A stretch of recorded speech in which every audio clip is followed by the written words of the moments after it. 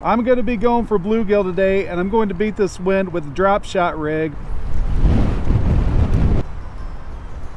There's one. That's a nice bluegill right there. Hey, Mr. Bluegill, you're the best one of the day.